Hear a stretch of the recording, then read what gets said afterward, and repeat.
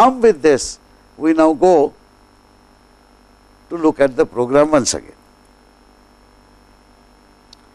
So, program to create a file holding data for students. Notice that yesterday's slides also contain this program.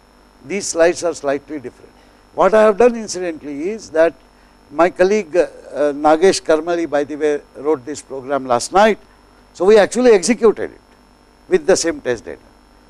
And although there is no new assignment today, in the lab docket for today's lab, these programs have been included. One program to create a database file, another program to update the database file and the actual data file that you have seen.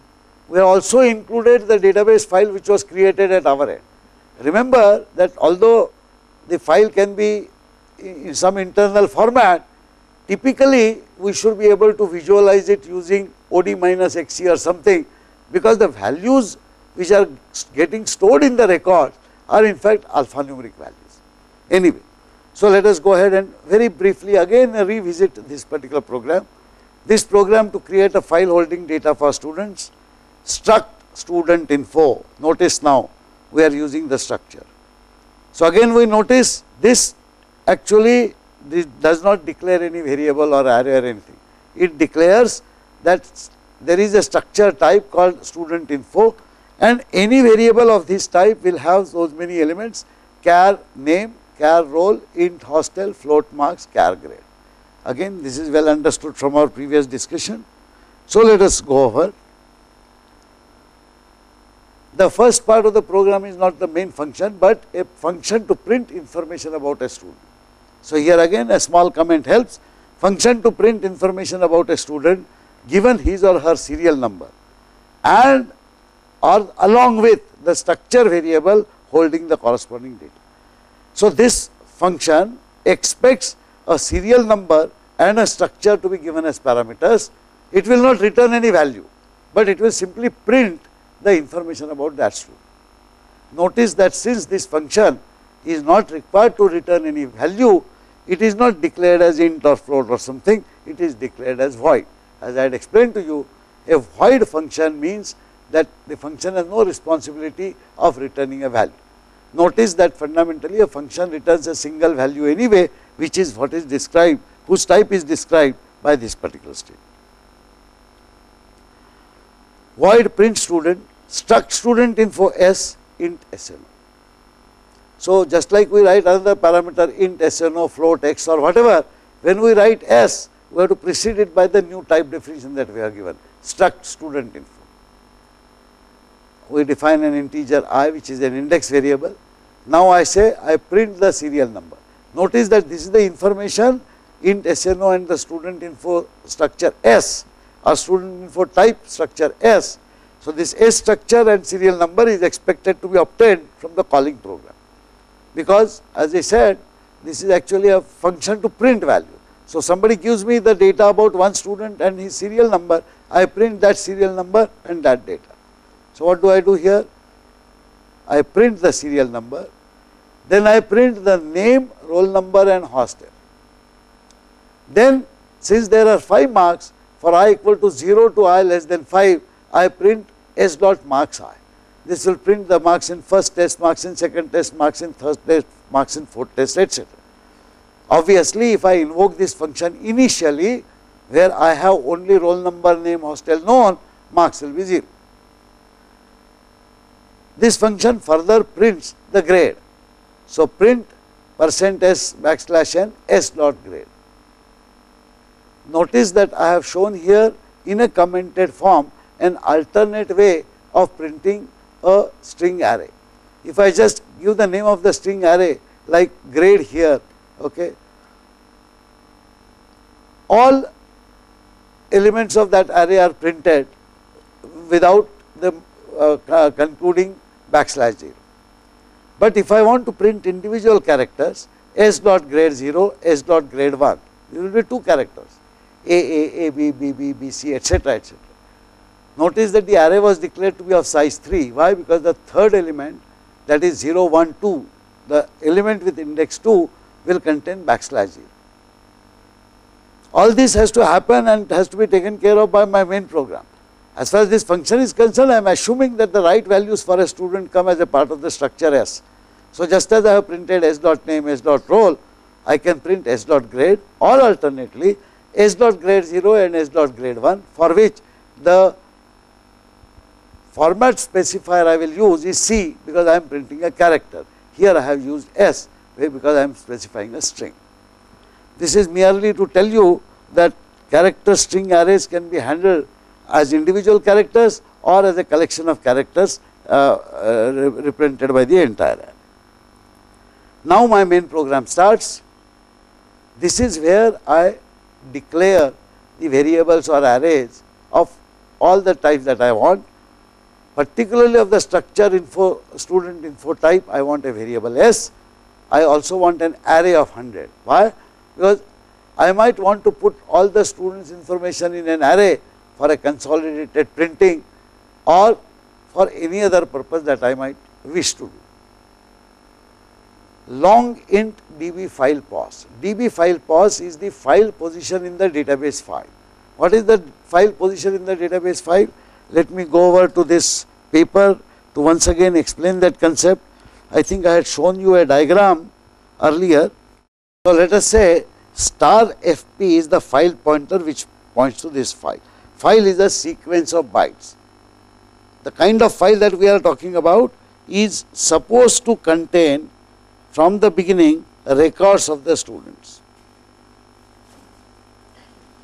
So, we will say this is record of serial number 0, this is record of serial number 1, this is record of serial number 2, record of serial number 3 etc. Serial number being artificial number given to each student. This will contain of course the roll number, name, marks, grades etc. So, this conglomeration how many bytes it will have? The bytes that this particular portion will have, the record will have is the size of the struct, well, that is what is stored here. Where is this located in the file? It is located at the base address or 0th address. So, this I call it base, beginning.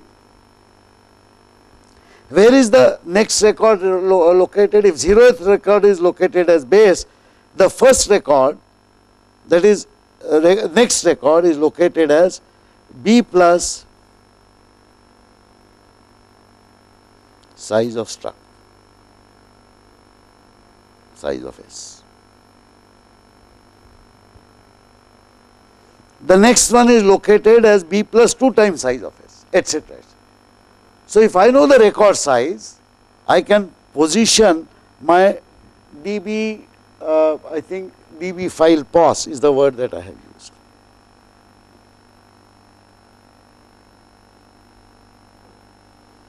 This is a variable which denotes a position number, a number and notice that this number is declared to be long int because file could be containing very large number of records. So, I do not want to be able to uh, locate only or write or read only uh, 200, 300, 5000 or 16,000 records. So, 2 byte numbers etc. will not work. A long int is the longest possible. Now, here is a question. Given a serial number 0, 1, 2, 3, 4, how do I calculate the file position? The file position I will write here for serial number the value of pos. For serial number 0 the value of pos would be at the beginning this point. For serial number 1 the value of pos will be b plus size. For serial number 2 the, the pointer should be here so b plus 2 times the size. So, notice now I have a direct correlation between serial number and position. If I know the size, I multiply it by the serial number and add it to the base. Fortunately, the file calls that I have, I do not have to do any addition because I am required to specify relative position of my position indicator with respect to the beginning of the file only. I can actually specify the position in terms of bytes, number of bytes either from the beginning or from the current position etc. but it is always easier to specify the position in a long file from the beginning. So, this is the position after one record, after second, after third, etc., etc. I will keep that in mind while writing my algorithm. So, we go over to this program again. So, this was just the explanation of DB file pos, just DB file pos, nothing. char option, char star n, char star r, int i, j, n, etc., etc., dif different variables that I will use. Integer rec size, this rec size will be equal to the size of my structure. As you can see later, rec size equal to size of S will capture the record size. I am initializing, declaring a file name array and also initializing it. I call it batch input file dot txt. Similarly, I am declaring an array to hold the database file name and I am also initializing it student db.bit. It is not uncommon that we declare an array to hold a file name, but we collect the value of the file name from the end user. So, if user may want to prescribe that please call my file by such and such name, in which case we can read the name from the user and open a file with that name. Anyway, these are preliminary descriptions. This is the first important statement where I open the file batch input file for reading. So, notice this file star fp equal to f open file name comma rs. This is the f open statement which will open the file input file. Now, I am reading that file. Notice this f scan f. Please note if I was typing the data on keyboard or if I was using input redirection, I would have used scanf. f scanf is exactly same as scanf, no difference, except that it reads from the named file rather than from the std in. So, the specification of f scanf apart from the format string percent %d and the values which have to be read and n for example, it will also have the file point. So, that is the only difference between scanf and fscanf. So, I read this data, data of so many students in this batch file, is a verification statement because I have read n. In our case n will be 6, so it will print data of 6 students in this batch file. Now, as long as file pointer is not null means the file has been successfully opened. What do I do? I have to read n students data starting from 0 to n minus 1. I will start reading it from the subsequent records of the same file f scanf fp, but what follows is not just a number as we read from the first record. We know that first record has only number, but each subsequent record has what? It has name, it has roll number, it has hostel. Notice that roll, name, roll number and hostel are not defined as independent variables or arrays. They are instead all declared to be elements of a structure S. S is the variable. So, I say S dot name, S dot roll, S dot hostel.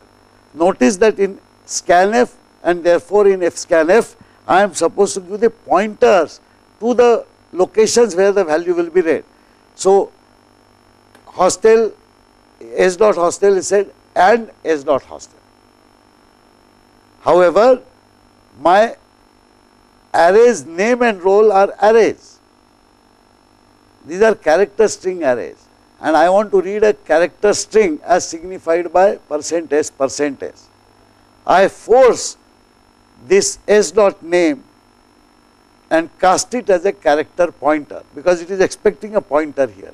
So, char star s dot name will correctly read the first string as many characters as you have and assign it to name. After having read name, roll number and hostel for that student, I will now proceed to read the marks. Sorry, not read the marks, but to set the marks to 0. Notice what we said, this is the only data we have which will come from input file. But when we create a record, the record will contain not only name, roll number and hostel, but also marks and grade which are unknown. So, I am assigning 0 to all marks and I am assigning star star to the grade. So, S dot grade 0 is star, S dot grade 1 is star and S dot grade 2 is backslash 0. Remember always this has, this has been declared as a string, so it must continue to contain a valid string inside. That is it. For i equal to 0 to n minus 1, I read data for one student whatever is available, I patch it up with the artificial data for the additional information which is not available. In this case, I set marks to 0, grade to star star and repeat this iteration for as many students as I have.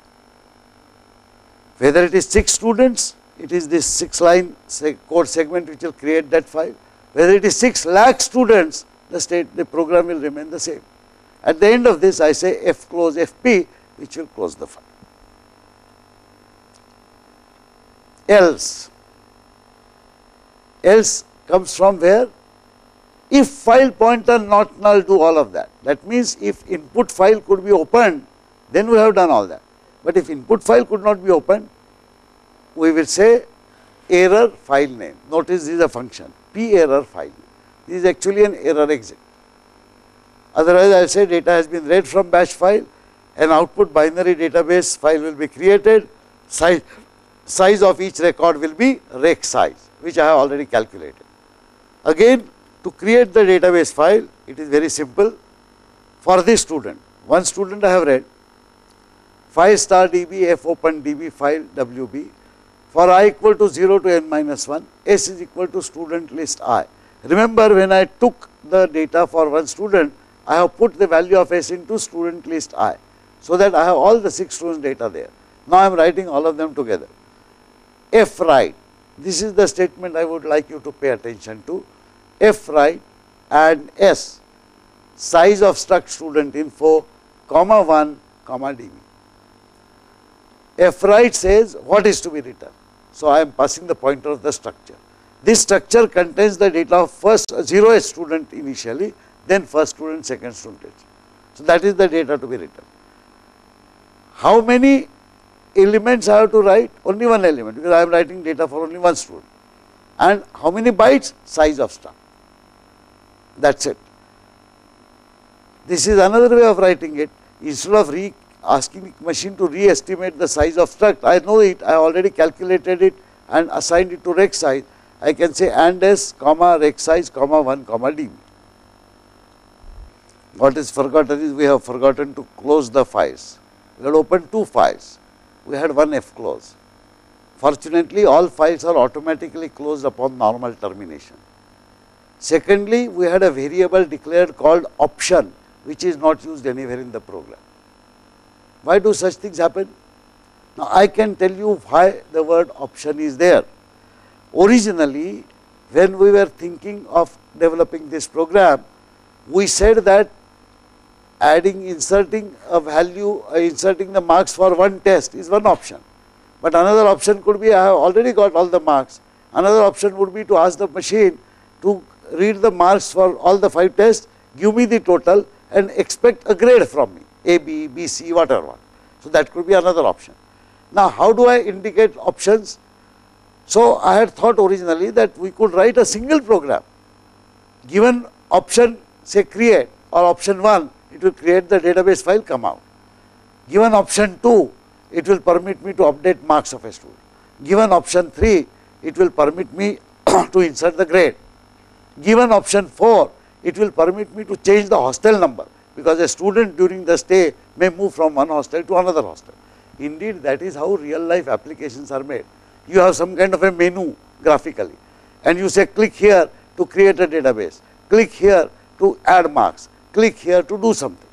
As a matter of fact, such are the projects which are often done by groups here, creating a system of programs with such menu choices and so on.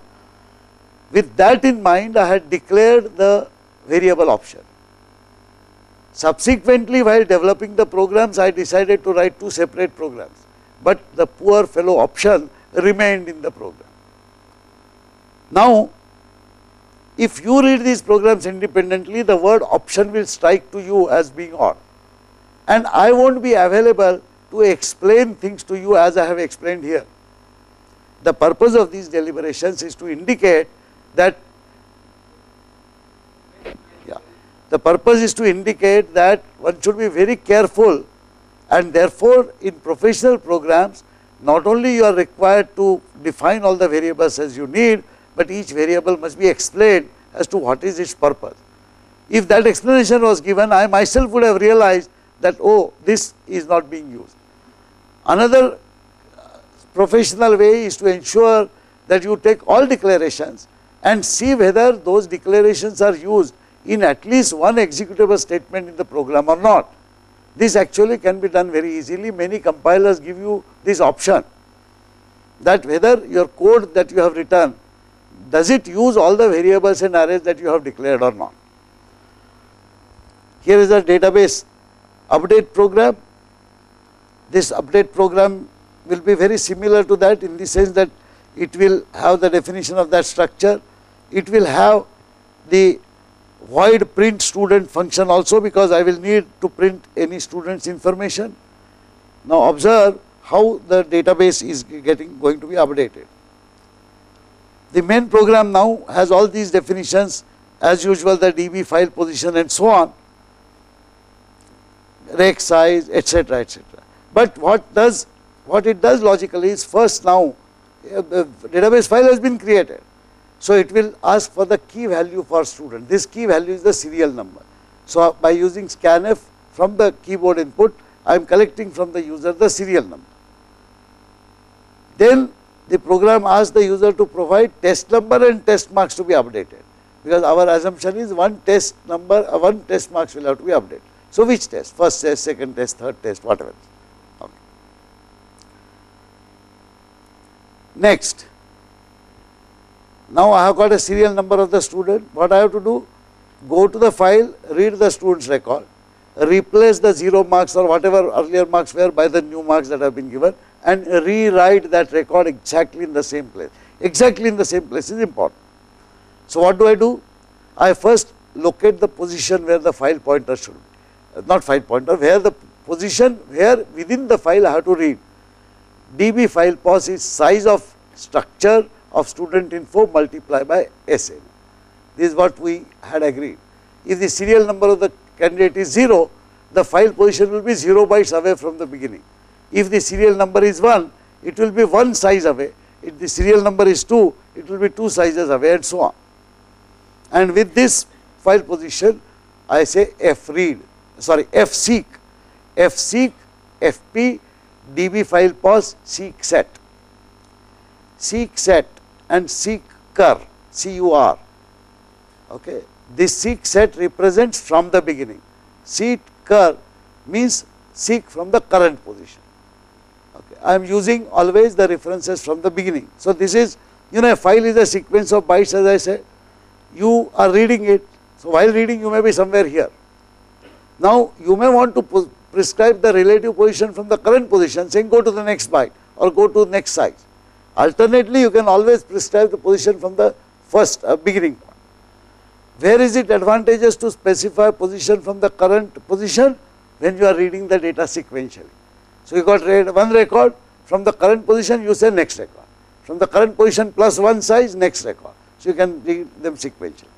When you want to read them randomly, then it is required to specify you read here, you read here, you read here, and that position depends upon the serial number. So, we calculate the position as we uh, illustrated earlier and this position is with respect to the beginning of the file. So, from this point how far away I want to seek. So, that is why I give this f seek statement. This positions the db file pos value to the right place and then I say f read. Again f read I have used here size of struct student info to indicate how many bytes are to be written. I could very well have said the rec size which I had used earlier. So, I read that value and I pass on that structure S. Please note I have passed the pointer and S here. So, I pass on that structure S to the print student function along with that serial number and that fellow will print it.